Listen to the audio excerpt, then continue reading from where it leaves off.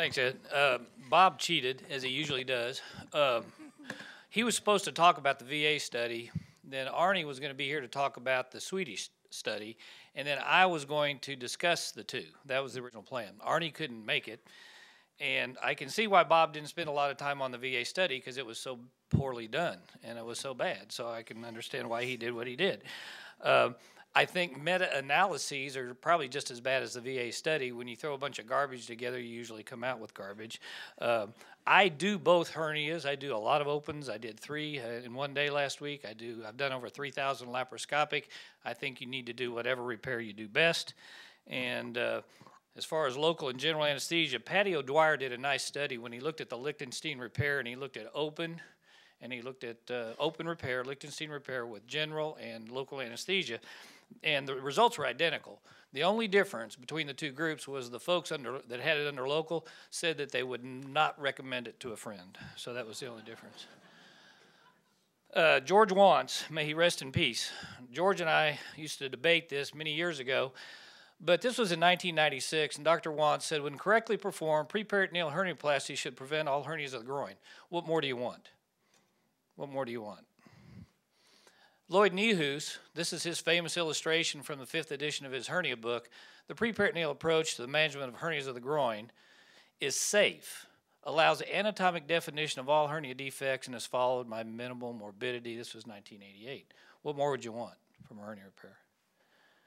Why do TEP? Randomized prospective trials. Again, I'm just here to present the, sweet, uh, the uh, Swedish data, and I'm going to do that, but I had to get a few shots in it, Bob, because I knew he was going to do what he did.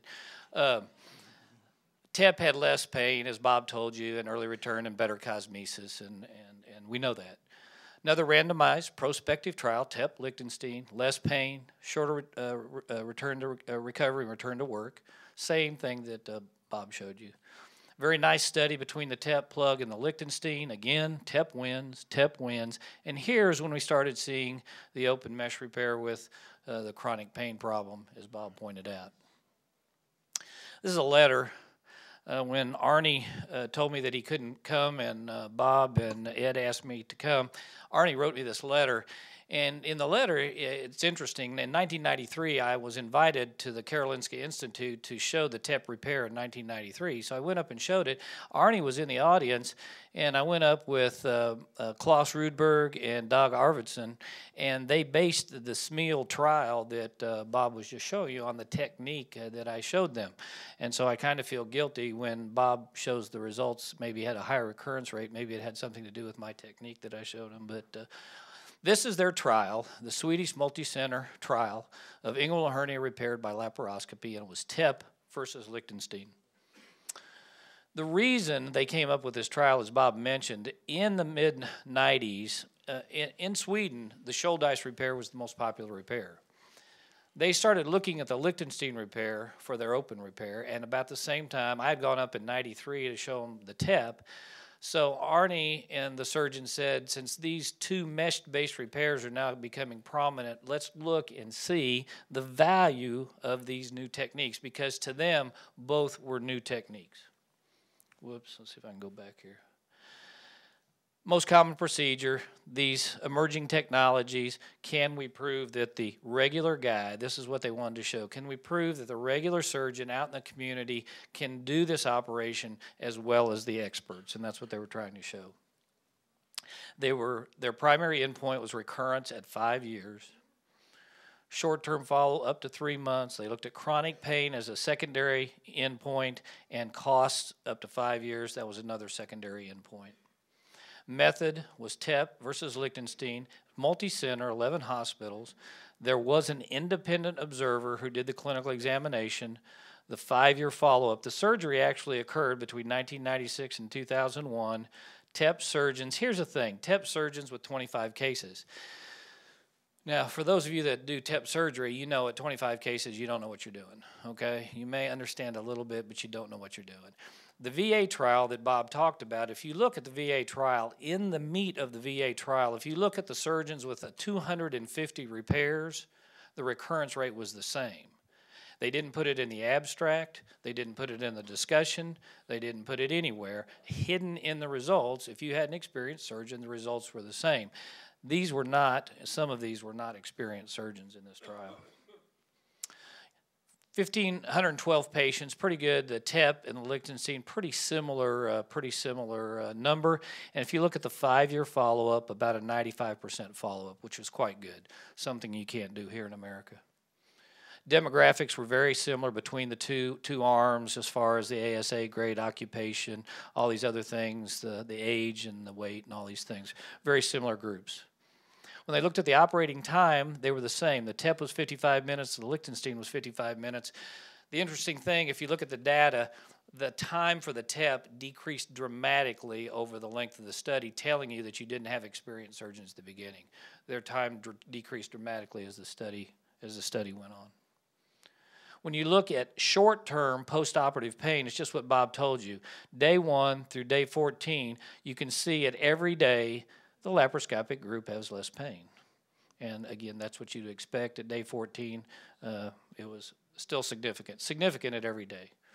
Sick leave, they looked at the occupation based on light activity, what you have to do, moderate or heavy based on your occupation. And again, at each level, the TEP was better than the Lichtenstein with respect to sick leave. They looked at short time recovery and complications when the recovery, this is full recovery, the TEP was 20 days, Lichtenstein was 31, again, it's statistically significant. They had some conversions here for things that, uh, like tears in the peritoneum and things that people that know what they're doing don't have problems with. Recurrence rate, here's the deal one, two, three, much higher in the statistically significant, higher in the TEP. It's 3.4%. Uh, uh, 1.2%. When you take the outlier that uh, Bob mentioned, one surgeon in the TEP group had seven of the 21 recurrences. He was an outlier, statistically significant. You get rid of him, and the recurrence rate was the same. Get rid of him, and the recurrence rate was the same. Uh, when they looked at predictors of recurrence, as opposed to the VA study, the older, uh, uh, it, was different. Here, the younger surgeons had a higher recurrence rate, and it was the opposite in the VA trial. And I might mention the VA trial. I don't think, Bob, you weren't actually, you, you weren't part of the trial, right, as far as your patients? No. Bob wasn't in the trial. At the VA in Memphis, where we were, uh, I was on staff, and I watched the staff guys that did the, the TEPs and things. And uh, oftentimes the staff was not scrubbed. Sometimes they were not in the room. The follow up was in less than optimal, and they were doing a very good job. So it's not as good as uh, as you might be uh, led to believe sometimes. When they looked at chronic pain, chronic pain, they looked at light pain, which was occasional discomfort, didn't interfere with your daily activities, moderate pain, which was occasionally, and severe pain, which really altered your lifestyle. And again, as Bob mentioned, this was an afterthought because once recurrences, once they saw recurrence rate wasn't that significantly different, they added pain. So they didn't have a good assessment of pain other than a visual analog scale. And as you can see here, one, two, three, five years, statistically significant with respect to total chronic pain. This is total chronic pain. Okay, very, very similar uh, results all the way down, much better in the TEP at five years and at each year. When you look at severe chronic pain, these are the ones that, are, that can't do anything, totally disabled one year statistically, two, three, and five. But what you see is as the years go by, the Lichtenstein repair with severe debilitating pain, they get better where it's not statistically significantly different. So it takes some of the Lichtenstein folks that, that have significant severe pain, you may give them five years before they get better economy in euros. They looked at all the different things, capital costs, all the other things that you have to look at. When the total cost, including the cost to the community, was looked at, like Bob said, it was 219 euros.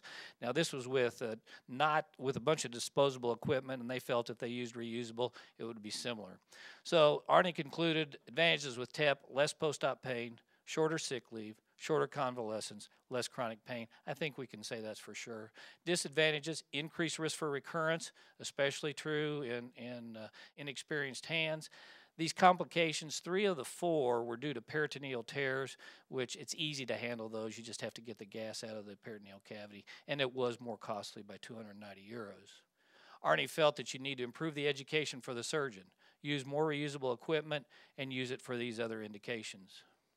I think evidence based medicine is showing these things that TEP has less immediate pain, has less chronic pain, and expert surgeons have just as good results as with the open repair.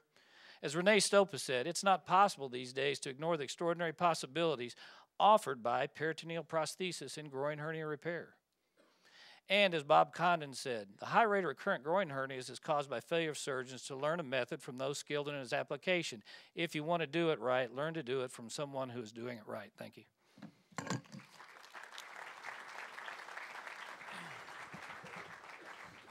Our next two presenters are going to discuss, because you're all confused, well, when should you use one or the other, or when should you do nothing? Dr. Towfigh is going to first present, and we'll see what uh, Dr. Ramshaw has to say about what she says.